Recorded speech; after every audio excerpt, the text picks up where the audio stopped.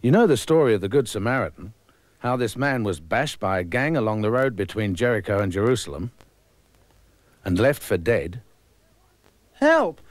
I've been mortally wounded. And our two of his countrymen, who should have known better, passed him by without lifting a finger to help. Help me. We're off to a meeting. To pray for the sick and mortally wounded. That's me.